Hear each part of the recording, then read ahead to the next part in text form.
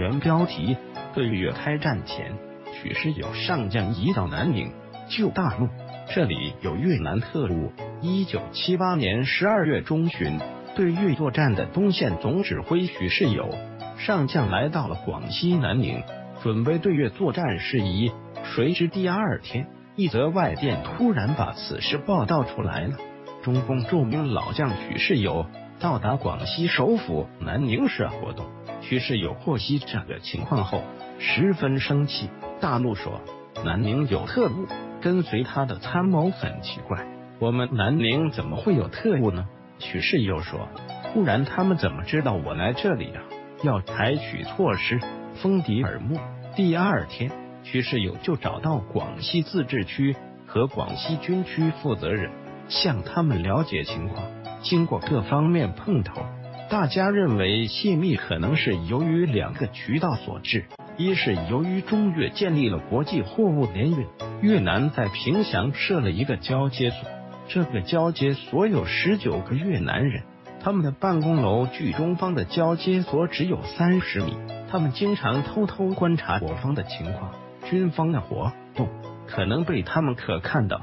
一是此时中越边境的民间贸易还在进行，越军侦查员很可能化妆成老百姓进入我国境内进行侦查。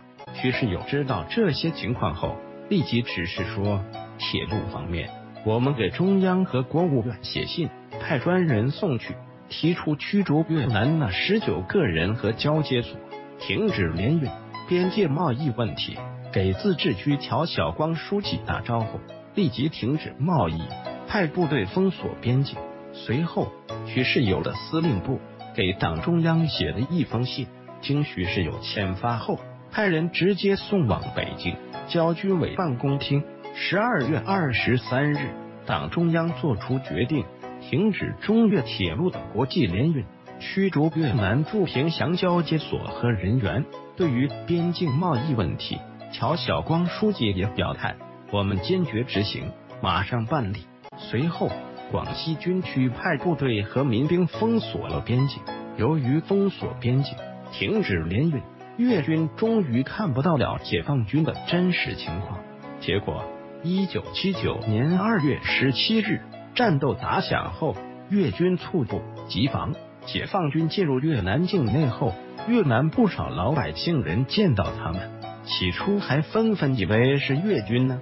正是由于战前许世友高度的警惕性，不仅清除了越南特务，还是保障了反击战发起的突然性。战后，他手下的参谋们无不敬佩的说：“姜还是老的辣。”欢迎关注陈冠任公众微信号：senior 零零零零零零幺，返回搜狐，查看更多责任编辑。